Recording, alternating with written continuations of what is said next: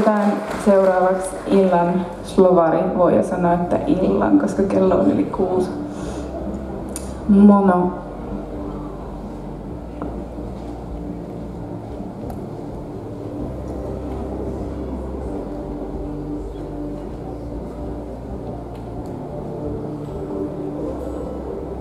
Mm.